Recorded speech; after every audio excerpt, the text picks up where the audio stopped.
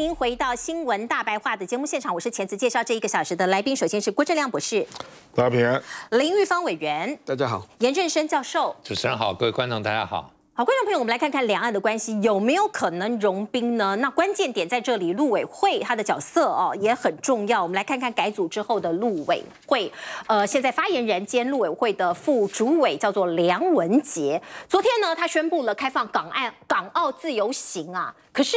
呃，记者说他显然非常生涩，因为他一直不断的看稿还结巴。我们来看看，上次港澳人士暂缓来台的那个时间点是什么时候？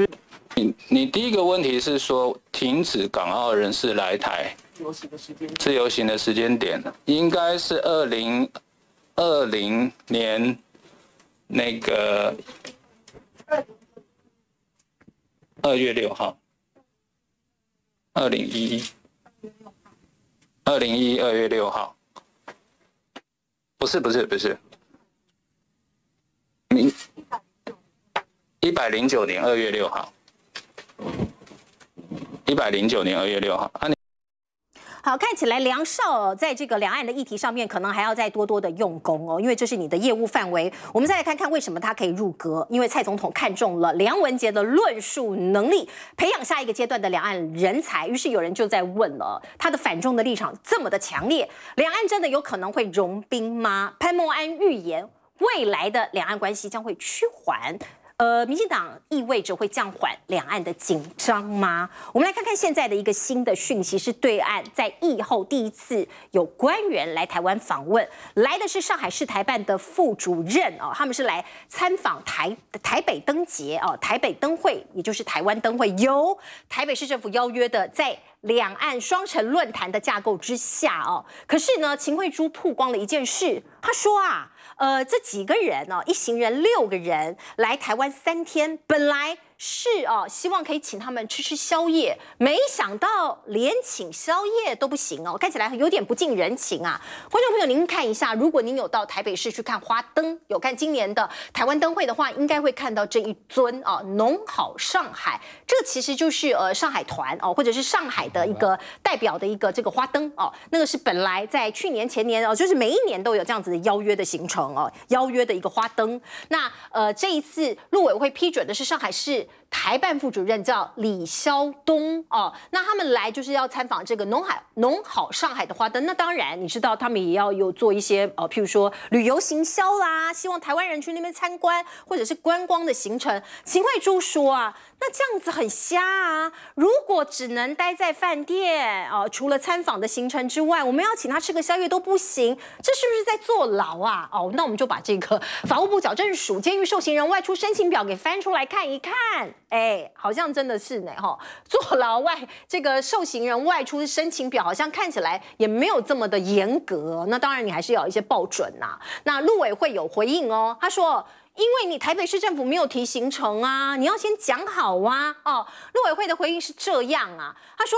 呃，开放哦，这个中国的专业人士来台湾哦，现在都还没有开放，所以这是专案的申请。那专案的申请呢，就会比较严格哦，没有限制你的居住哦，或者是这个拖延都没有，只是哦，所有的责任应该又是你台北市府来规划的。你申请的时候，你也没有提出吃宵夜啊啊啊！现在在怪我们说不让你吃宵夜哦，所以的两边各说各话。不过网友有一些评论啊，网友说人家啊，对岸的朋友就是来看花灯的。当然是晚上出门呐，啊，出完门看完花灯，不豆腰啊，肚子饿啊，当然要吃宵夜。所以吃宵夜没有写出来，那也是理所当然呐。啊，上厕所要不要写哦？所以观众朋友，我们可以看看呢，这个就是变成两岸的一些口水战，民间呢恶意螺旋就是这样散播出去的哦。尤其我们看到绿营有很多所谓的大中啊，或是抗中的急先锋啊，他们可能。要这个对于中国不友善这件事情哦，可以凸显他们的这个在党内的地位，或者是争取版面。所以你看到，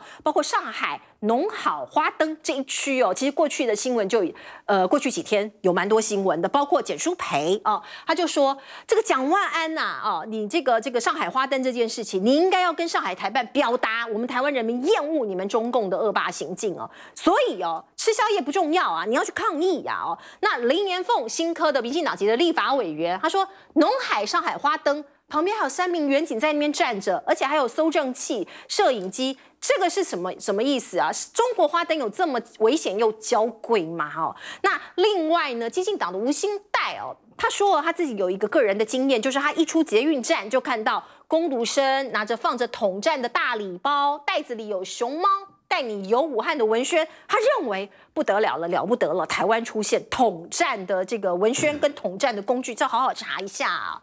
所以呢，这个到底要交流与否啊？要要不要往健康的方向，还是要往恶意解读的方向？其实就是在一念之间。观众朋友，我们来看看呐，为台湾好的范例啊，请看它，这是我们的标题，讲的是什么？台积电到美国投资这件事情。过去一段时间，大家为了台积电要不要把人才、设备啊这些东西移到美国去，有一些讨论啊。那那现在 Nancy Pelosi 他讲出来的，当年哦也没有当年，其实才仅仅是去年八月。月他来台湾访问的时候，张忠谋有跟他有一段对话哦。张忠谋说啊，你砸钱做晶片，讲的都是你美国人砸钱做晶片呐，其实太天真了。你应该要投资台湾的安全才是上策哦。呃，这是张忠谋当年哦，去年半年多前跟美国人跟 Nancy Pelosi 讲的话哦。那我们看到今天呢，美国的政客杂志也在讲哦，说台湾的巨科技巨头讲的就是张忠谋嘛，跟 Nancy。Pelosi 哦，南希佩洛西讲说，美国啊。它有一点点太过这个这个呃这个呃这个太过这个有惹麻烦上身的意思啊，大概惹麻烦上身的意思。In over its hate。好，我们再来看看呢，这这一场所谓的过去半年前的一场的对话哦，那到底这个美国晶片的政策是不是适当呢？哦，是不是应该是把台湾保护起来才对，而不是把晶片移到美国去投资才对呢？那美国官员今天其实也有一点点回应，他说大家拭目以待，不要。唱所以我们美国，我们不可能很天真的。他说，就张忠谋的批评哦，他去询问了多名拜登的政府官员，得到的回答充满信心，要大家拭目以待。这是美国媒体去做的采访，美国政府他们其实很有信心，这个晶片在美国一定可以发展的起来。另外，我们来看看美国副国务卿雪曼哦，他说了这一句话，他说各国应该要劝劝习近平哦，不要来。侵犯台湾，这不是一个好的主意。台海有事，全球遭殃。雪曼说，他呼吁各国劝阻中国国家主席习近平，告诉他犯台不是好主意。我们先来请教亮哥，亮哥你怎么看啊？怎么看改组之后的陆委会？到底两岸是为往好的方向走，还是绿营其实不希望两岸融冰呢？我觉得今年元旦小英写脸书嘛，包括春节跟台商酒会，他讲的话都是要开启两岸的沟通大门呐啊。可是这个我觉得本来本意是从那个方向，因为布林肯本来也要去北京嘛，可是被二月三号这个间谍气球事件啊，我认为有点被激化了。那因为美国参众两院有很多议员都非常愤怒了，那第一个当然就波及夏利言。因为本来是说布林肯去北京，然后呢，接下来夏立言要去大陆啊。那本来是就是小阳春嘛，大两岸就美中啊，来跟小两岸做互动这样啊。那结果发生间谍气球。事实上，美国有很多参众两院，这个我是听黄介正讲的。黄介正刚去美国，就等有很多人就直接跟着你，叫他不要去了。那夏立言怎么走？有办法不去？你都都已经约好了，所以就去了。那我认为，当然这一些参众两院的声音一定也给了民进党。我认为民进党有点在紧急刹车，就是他又预期到今年的氛围要走差，那美中对抗可能要升级。比如说今天黄介正就说啊，说麦卡锡今年一定会来台湾啊，那他刚刚放了消息，所以你去看嘛，我们陆委会啊。我们陆委会从一开始，比如说夏立言要去那见宋涛跟王沪宁，你去看民进党中央的文宣是怎么定调的？说他去朝贡，说他去投降，说他搞自我矮化，那调子都跟以前一样。是。那赖清德不是说要和平保台吗？嗯哼。调子又回来了啊。那接下来你就看到星云大师的吊唁会，然后那个宗教局那个叶叶叶小文那个有争议，那个我没有意见。嗯国台办的副主任龙明标，还有地方台办，还有地方宗教的所有的人都三十八个人没有拿到签证，啊，那这个就引起了国台办有发一个声明呢，他感到非常生气了啊。然后接下来就看到梁文杰这个发言了，上海台办来参加元宵节。然后说不能去吃宵夜，我真的我从来没有看过有一个国家对另外一个国家那个官员来访啊，说你你申报的活动没有宵夜啊，你没有写吃宵夜啊，那所以你不能去吃宵夜，我还第一次听到啊，哦，那就是反正你没有写的就是通通都不能去，所以你就是呃没有人会去写宵夜吧，那你就只能够待在旅馆，那这样跟。我们所谓的限制住居有什么差别呢？哦，所以我的意思说，这个紧缩措施，我的观察就是二月三号间谍气球事件之后联动出来的。那联动出来，我觉得美国确实众议院就是对台湾就是有很多积极的布布局啦。嗯哼，比如说你就看到那个众议院对中小组，他就要来台湾办听证嘛。我看台湾也很难拒绝啦啊，然后。这个众议院外交委员会主席默克尔也说要来，对不对？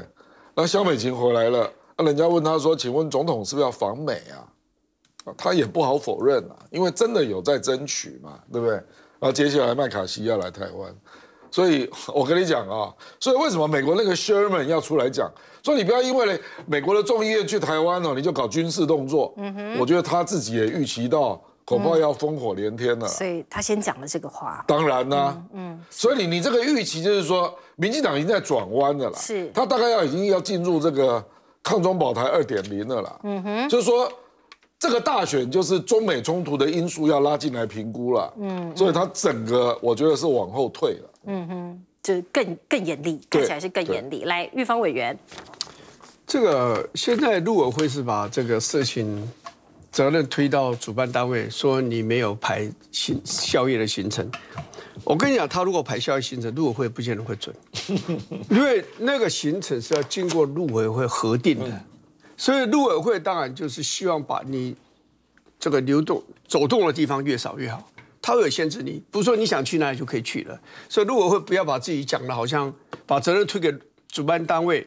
是台北市政府好像自己好像很很文雅、很柔弱的样子，没有这回事了。嗯，不过我讲一下那个气球事件哈，其实对这个两对中美关系的冲击，应该是已经开始在淡化。